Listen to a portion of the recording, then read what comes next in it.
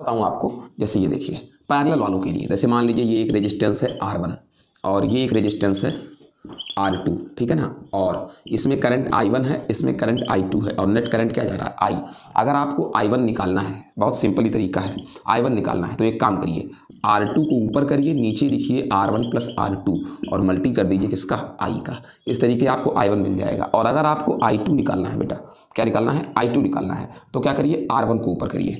और नीचे लिखिए आर वन प्लस क्या?